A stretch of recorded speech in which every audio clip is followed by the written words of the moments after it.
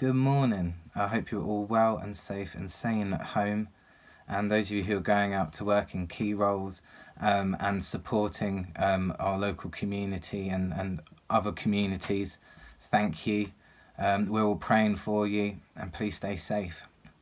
Over the next few days, I'm going to be filling in for Simon on these daily encouragements. I can tell you that from my own experience last week of doing the youth reflection videos, of preparing and filming and uploading them, that they're exhausting. Um, you have all the same adrenaline uh, that you would from teaching or preaching, but without the face to face response that you'd get from talking to someone, you know, there and then. It's a little bit like throwing a message out in space and just hoping that someone finds it. So it really is my pleasure uh, to give Simon a break, and I'm sure you'll all agree with me um, that his messages have really been a great source of encouragement to us all through the first few weeks of this crisis. Thank you and bless you, Simon. You are in all of our prayers as you lead our church through this difficult time. So, when Simon asked me to do this week's encouragement, we thought it would be a good idea to have a theme to focus on. We as a church are no longer in panic mode. We're, we're slowly getting to grips with the ongoing nature of this situation. And rather than trying to put out fires as they spring up, we feel that we're able to plan ahead. So, for the next few days, we will be thinking about and learning from our brothers and sisters in Christ around the world who, unlike us, isolation and suffering are not a new thing. Members of our persecuted church family. We'll be hearing how they hold on to and share their hope and trust in Jesus through the worst of times. And in this, I hope we are able to appreciate what we have in the privilege of not having to hide who we put our hope in and being able to share openly with others. This is all in the light and acknowledgement that this is a rubbish time. And I, I don't want to make anyone feel guilty about struggling with the situation we're in. But I do think it can give us some fresh insight and sympathy for those who experience this daily, month by month, year by year. I would like us to come out of this with a newfound passion for praying and supporting the persecuted church, to remember them in our prayers, to campaign for their rights, to support those who, like us, are part of the body of Christ. The issues can seem distant to us, but we now get a sense of what it is like to feel distant from each other. It's a perfect time to remember that we, on our comfy little island, we're not a prosthetic limb. We are part of the body. In Paul's letter to the Ephesians, he says, uh, this is uh, Ephesians 4.16, Under his direction, the whole body is fitted together perfectly. As each part does its own special work, it helps the other parts grow so that the whole body is healthy and growing and full of love.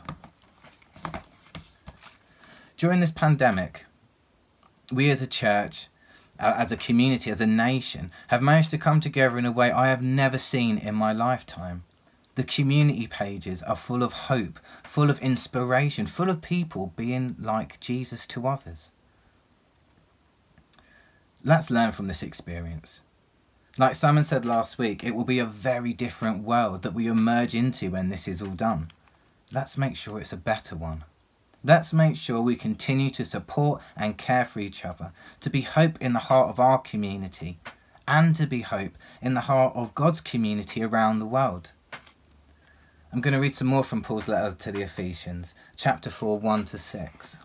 And let's bear in mind when Paul writes this, he himself is a prisoner for his faith. Therefore, I, a prisoner for serving the Lord, beg you to lead a life worthy of your calling, for you have been called by God. Be humble and gentle. Be patient with each other, making allowances for each other's faults because of your love.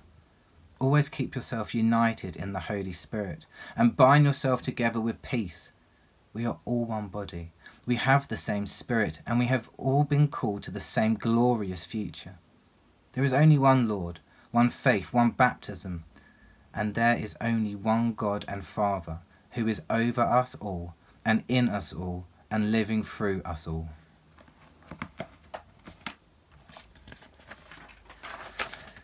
So, my encouragement to you all today is to thank God for the things He has blessed you with, with family and friends you can encourage and be encouraged by, for our homes and access to basic amenities, for a church, when this is all over, that we can openly worship and praise our God and Father who loves us in. To keep doing what you're doing, supporting, caring, loving, and praying for each other, and to remember our brothers and sisters in Christ who do not have these things. Let's pray. Lord, I pray for our church family and our local community. Keep us safe and well and trusting in you and your strength, knowing that you are the King of kings and Lord of lords. And I pray for your protection, for your people around the world who cannot openly praise you for fear of persecution. Help us to remember them, not as a distant issue, but as part of the body of Christ that we are all part of together. Amen. So tomorrow we'll think a bit more about how we can learn from the persecuted church. But for now, God bless, have a great day, take care, and I'll see you soon. Bye.